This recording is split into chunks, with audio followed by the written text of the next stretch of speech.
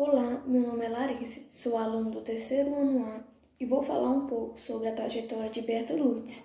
Berta Maria Júlia Lutz nasceu em São Paulo no dia 2 de agosto de 1894. Ela era filha de uma enfermeira inglesa, Amy Fowler, e de um cientista, Adolfo Lutz. Berta Lutz é conhecido como uma das maiores líderes da luta pelos direitos políticos das mulheres brasileiras. Ela começou a perceber que os direitos femininos podiam ser diferentes quando foi estudar na Europa com apenas 14 anos de idade. Ela concluiu o ensino médio no interior da Inglaterra e se graduou em biologia em Paris.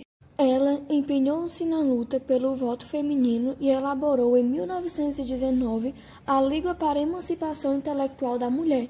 E em 1922, Lutz representou as brasileiras na Assembleia Geral da Liga das Mulheres Eleitoras nos Estados Unidos, tornando-se eleita vice-presidente da Sociedade Pan-Americana. Candidata em 1933 a uma vaga na Assembleia Nacional Constituinte. Lutz teve a primeira suplência no pleito seguinte e assumiu o mandato de deputada na Câmara Federal em junho de 1933, em decorrência da morte do titular. Sua atuação parlamentar foi marcada por uma proposta de mudança na legislação referente ao trabalho da mulher e do menor, visando, além da igualdade salarial, a licença de três meses para gestante e a redução da jornada do trabalho, então de 13 horas diárias. Em 1937, Getúlio decretou o Estado Novo e fechou o Congresso Nacional.